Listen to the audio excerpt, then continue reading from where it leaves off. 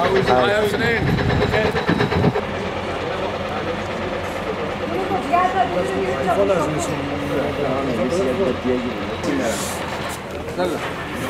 Νομίζω, ε, καλημέρα, καλημέρα. Ξανά, μεσημέρι.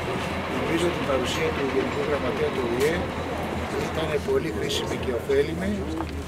Ταξινόμησε τα ζητήματα, κουβεντιάσαμε τρόπους που θα ασχοληθούμε με επιμέρους προβλήματα κλειδιά που αναφέρονται στις δύο συνθήκες ασφάλειας και εγγυήσεων και ο στόχος όπως τον περιέγραψε και ο ίδιος είναι από την αρχή να είναι η Κύπρος ένα φυσιολογικό κράτος όπως κάθε κράτος μέλος του ΟΗΕ. Καλό μεσημέρι. Χωρίς εγγύσεις και κατοχικά στρατεύματα. Είπατε πρόοδος.